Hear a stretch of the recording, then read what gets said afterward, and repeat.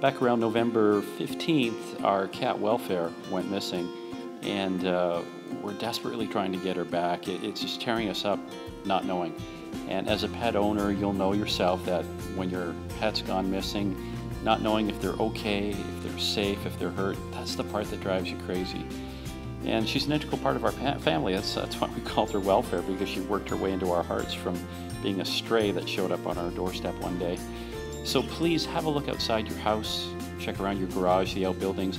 Now that the cold weather is here and the snows are here, uh, animals have a tendency to look for shelter. They're survivalists, that's what they do. And if you whistle, she may come. Uh, she does for us because she thinks she's a dog at times. Now, welfare went missing from West Grey, Mulock Road, and Concession 4, so that's right between Hanover and Durham, Ontario. So if you see her, please give us a call. There is a reward offered for her, and we do want to get her home. Once again, thanks for all your help, and we hope we see her soon.